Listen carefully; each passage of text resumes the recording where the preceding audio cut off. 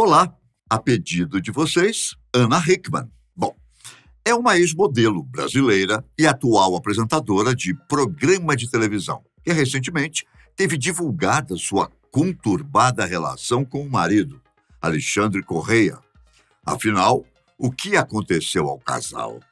Que fez de um conto de fadas um caso de polícia. Ela era apenas uma menina quando se casou. O evento foi oficializado em 14 de fevereiro de 1998, quando Ana tinha apenas 16 anos. O amor de sua vida, que na época tinha 26, acabou se tornando seu empresário artístico e, portanto, além da responsabilidade sobre a menor, ele ainda se tornaria responsável por todos os ganhos que ela passaria a ter como profissional. Mas o amor fala mais alto. E quando ele fala, nada mais importa. Como dizem, o amor é cego.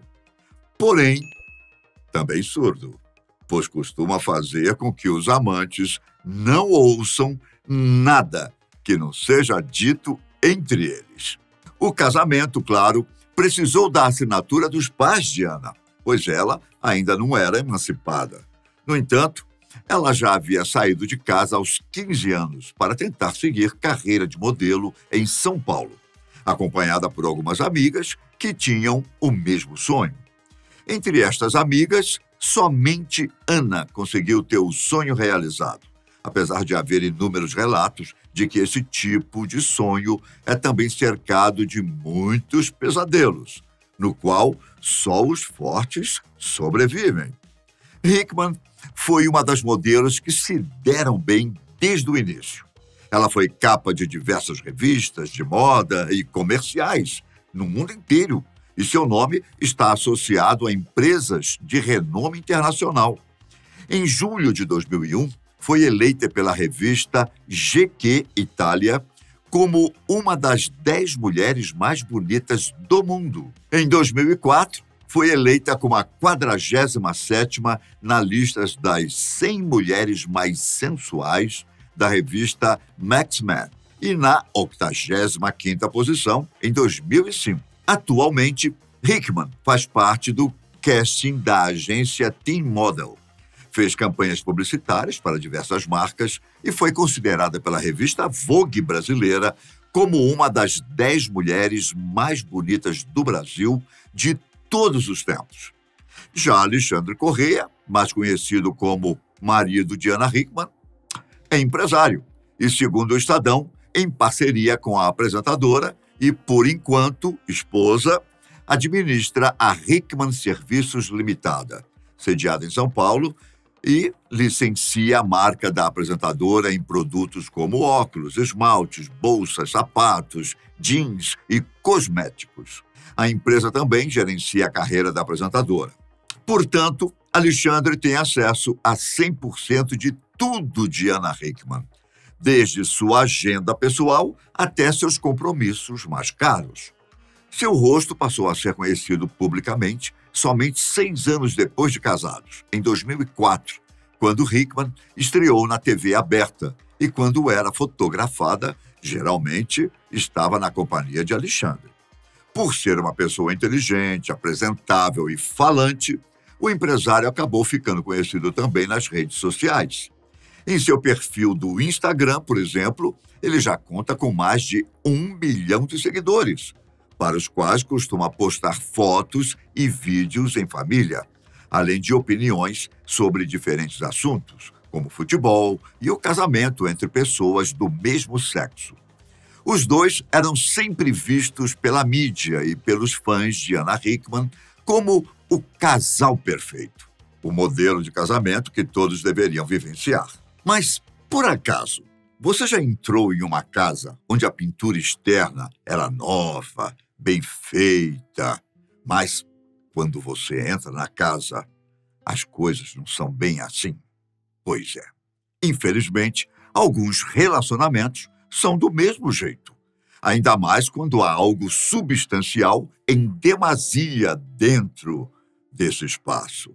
Claro, não se pode culpar o dinheiro em si, e sim, talvez, o que ele gera em determinadas pessoas. Que é a ganância, a sensação de poder e ser, bom, o que não é. O fato é que no dia 11 de novembro, o amor foi parar na delegacia de polícia. Ana Hickman fez um boletim de ocorrência por volta das 16 horas em uma delegacia de Itu, no interior de São Paulo, acusando ter sofrido violência doméstica por parte de Alexandre. Ela disse que após uma discussão, o empresário teria a pressionado contra a parede, ameaçou dar uma cabeçada nela e ainda teve seu braço pressionado em uma porta de correr. Depois, ao ser interrogado, Correia confirmou parte da história, mas disse que não tinha dado cabeçada na esposa. Ela também não disse isso. Disse que ele a ameaçou com uma cabeçada. Essa visita à delegacia, no entanto, abriu uma porta tão bonita quanto a casa recém-pintada, na analogia que fiz agora há pouco. Por dentro foram encontradas as sujeiras, que ainda não haviam sido jogadas no lixo. Pelo menos essa é a primeira suspeita. Mas o que teria dado início à discussão? Segundo reportagem veiculada no site Notícias da TV da UOL, Ana Hickman teria afirmado a alguns amigos que o motivo da briga foi financeiro e que Alexandre teria basicamente destruído o patrimônio da família, colocando em risco o futuro do filho do casal, hoje com 10 anos.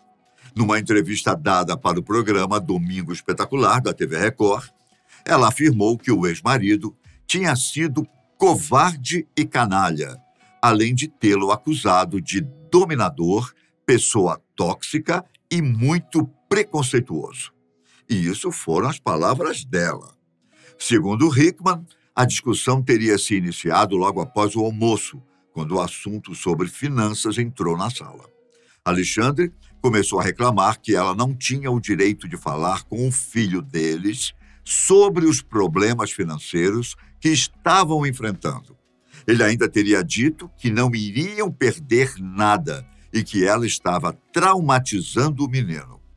Quando ela tentou admitir os problemas, a discussão ficou mais acalorada. O filho do casal começou a gritar, pedindo para que parassem, já que essas brigas verbais eram constantes dentro de casa. Ele correu para a piscina e Alexandre o seguiu, dizendo que a mãe era louca e que deveria parar com isso. Ana disse para ele parar de criar mentiras e a discussão esquentou ainda mais. Foi nesse momento que Ana pediu à sua ajudante para levar o menino para a parte de trás da casa. Exatamente neste momento que ele teria avançado sobre ela e a pressionado contra a parede com ameaças. De acordo com o boletim de ocorrência, ambos perderam o controle e, na tentativa de fugir, Ana correu em direção à cozinha e parou na porta de correr, ainda discutindo com o marido. Ele então teria dado uma cotovelada na porta que bateu no braço de Ana, quando ela sentiu muita dor. Ela então ligou para 190 e pediu socorro. Numa outra entrevista, Ana Hickman disse que o relacionamento vem se degradando há algum tempo. Ela ainda afirmou que a relação tornou-se tóxica e que o temperamento de Alexandre era muito difícil, mas eram situações que ela tentava segurar e passar o pano por cima até a coisa passar para a forma física. Ana chegou a dizer que viu quando o amor passou a ser somente um negócio familiar. Ele controlava não só a agenda profissional, como também passou a regular até seus horários de academia, médicos e outras saídas. Em sua defesa, Alexandre negou ter dado a cabeçada, algo que, como já mencionei, nem Ana teria afirmado. E também que aquilo era uma discussão normal dentro de qualquer família, mas que envolvia também assuntos profissionais. No entanto, há mais coisas por trás. No dia seguinte, à discussão, Ana teria encontrado documentos, cheques e outros papéis comprometedores não se tem nada confirmado, pois as investigações estão correndo sob sigilo, Contudo, segundo a apresentadora, que não quis entrar em mais detalhes, havia documentos com assinaturas que ela tinha certeza não serem dela. E está correndo uma grande investigação de fraude, desvio e falsidade ideológica. Ana Hickman disse estar aliviada, apesar da história que tiveram. Ela ainda disse que muita gente tentou desencorajá-la a ir à delegacia e ela entendeu o porquê de muitas mulheres desistirem da denúncia ou retirá-la. Não é só por medo do companheiro, mas também pela insistência de pessoas que só conhecem a relação por fora. Obrigado por assistir e até o nosso próximo encontro. Um grande abraço. Tchau!